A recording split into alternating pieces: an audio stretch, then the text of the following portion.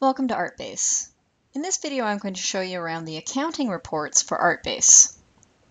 Okay, to get to accounting reports you go to the inventory and you go to the inventory menu at the top of the screen.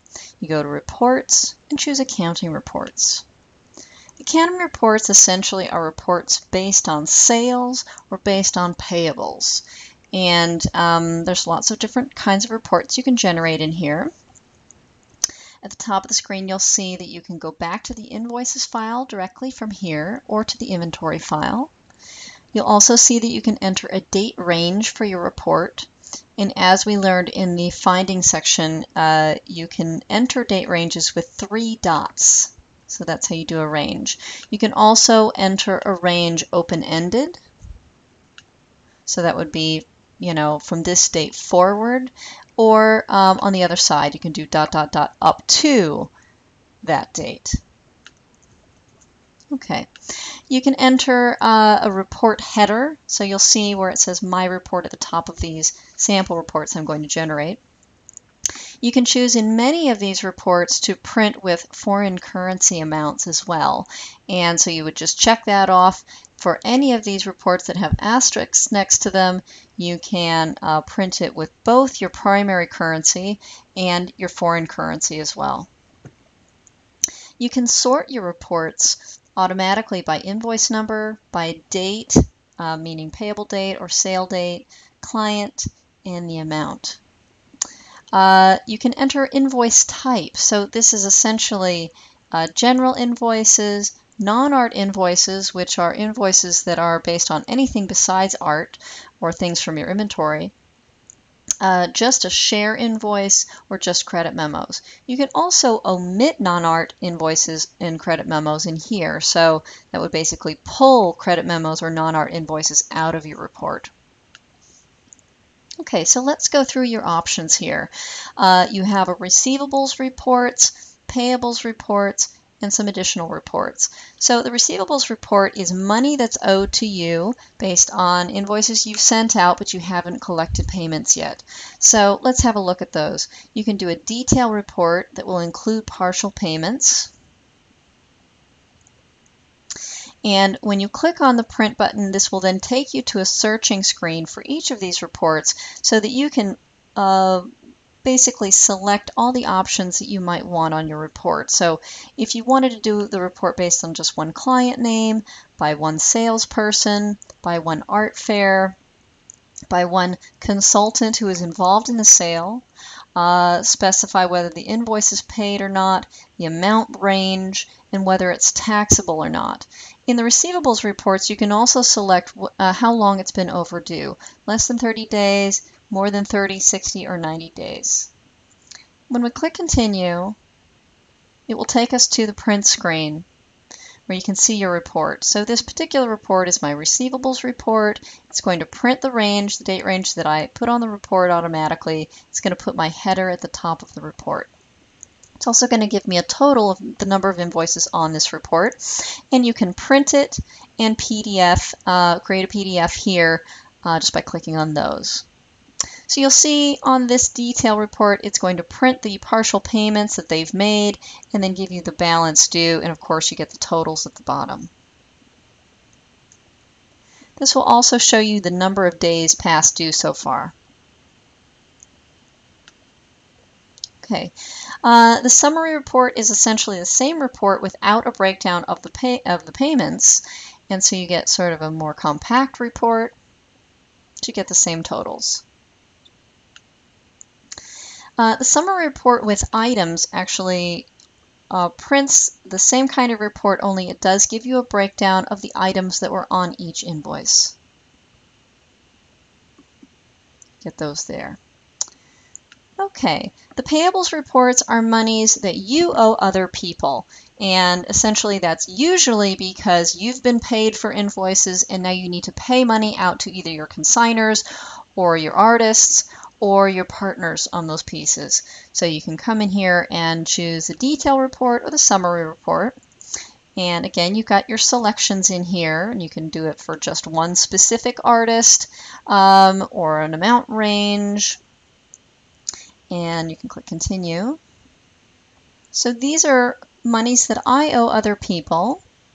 And you can see that in the detail report, I can see payments that I've made to those other people. So often partial payments to your payables are done when you're uh, dealing with uh, secondary market items and the values are very large. If, um, if you don't find that you really ever do partial payments to your artists or to your consigners, you can generate the summary report. And that doesn't, you know, waste room with those, uh, those partial payments and it gives you the same kind of totals. You'll see that it's going to give you a subtotal based on each artist or each consigner or each partner and so you'll get a total for each of those and then a grand total at the bottom. Some more reports we have in here um, are, for example, sales reports by invoice and by, art, by item. So if we do a sales report by invoice, this is a really good way to get a report based on lots of different kinds of information. For example, if I want to see how much I sold at a specific art fair, I could come in here and choose the art fair and then it would just do my report based on that. I can also do it based on a salesperson to get, you know, a total for commissions on your salespeople, or maybe a specific, uh, maybe you want to know how much you sold to that client last year. Um, you can do that, or even amount range. So I want to see everything we sold that was over $10,000 last year. So this is a sales report. It's a good standard report that just has a breakdown of balance due, sales tax, and invoice total, with, of course, grand totals at the bottom.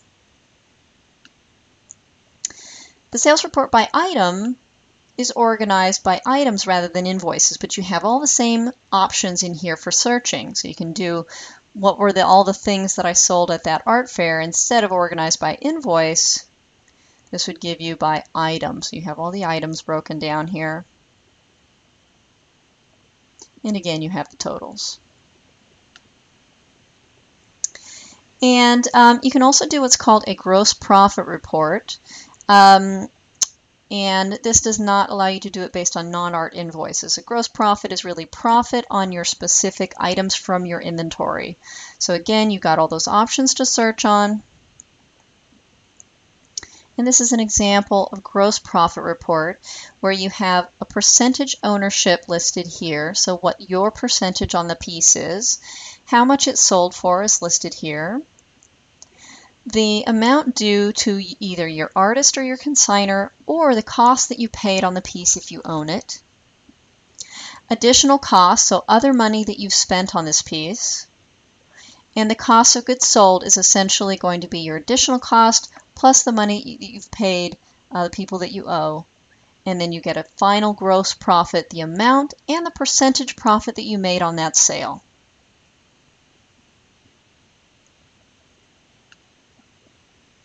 You can do either of these two reports, the sales report by item and the gross profit report, and subtotal them by artist. So let's have a look at what that looks like.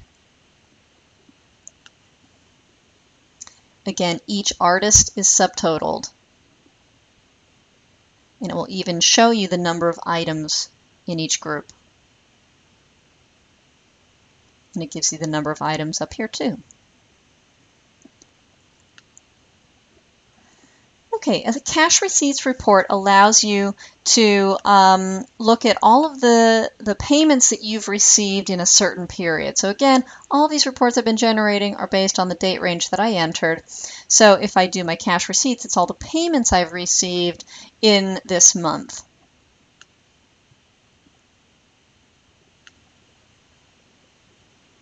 So I've received a couple of payments, and this is the amount that I've received. And um, you can also subtotal that by client.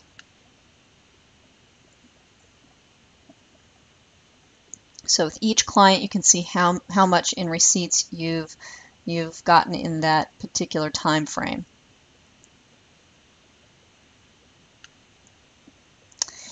Okay, you can do your sales tax reports either by invoice date or by payment date. So however you pay your sales tax, you can generate um, a sales tax report. And your sales tax report will be broken down by county or essentially by the different rates. So you'll see that there's no county entered and the New York sales tax county and it will give you totals based on your county and how much you owe.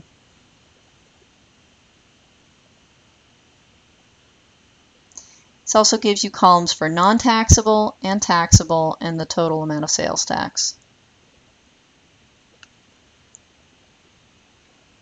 Okay, if we look over here, you can see that there are some other kinds of reports that are really bar charts and pie charts. The bar charts allows you to see, and once again, you can do all of your, your different kinds of searching in here, art fair, salesperson, amount range, things like that.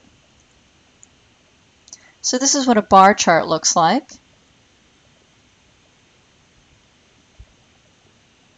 This is a nice way to see who your best seller is in sort of a quick view. And here are my best-selling clients. You can see that this client is my best seller.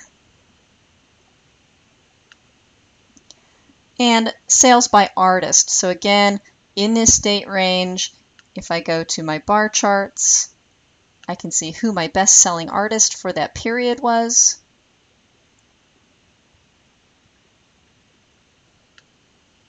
And I can see in a pie chart the same information.